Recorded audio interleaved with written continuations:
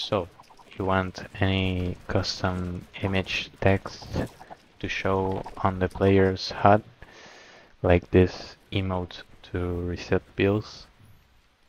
Mm, It's easy. I'm gonna show you real quick how to do it. Follow these steps. So it's really easy. Just uh, grab any image you want to use and drag it here. And then right click here. Select user interface widget uh, blueprint.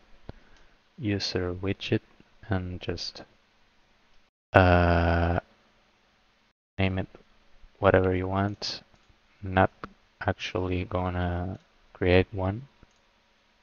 I'm gonna show you this one that I'm already using. So double click on it, drag uh, here the canvas, the canvas panel, drag it, uh, drag a image, and then select the the image and use this settings. If you wanted to show like uh, on the bottom of the screen, you can use uh, anchors and select this one. Uh, position x0, position y0, size x, whatever you want, size y, whatever you want. Alignment to be center, use uh, 0.5 and to be just um, on top of the surface right here use 1 on the y-axis and then here in image you're gonna select the texture. You you're um, you're gonna select the texture you're using.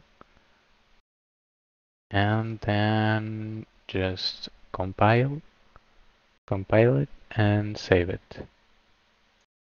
Then get here and search for HUD message device. Get a HUD message device. Here's mine.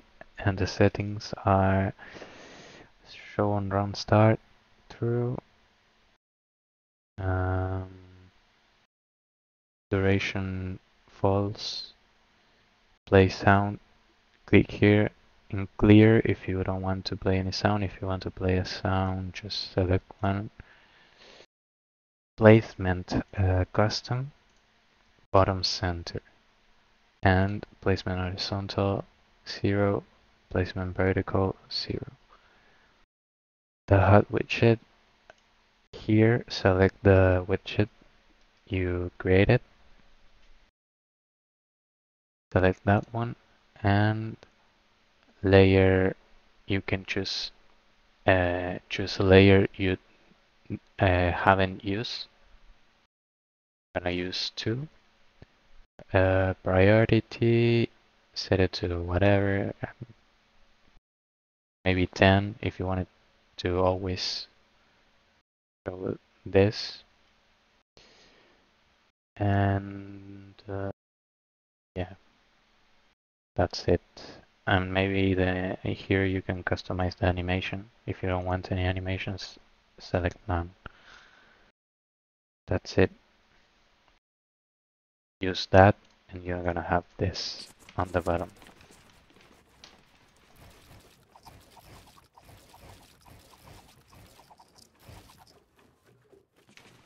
so if this worked for you don't forget to subscribe and leave a like please.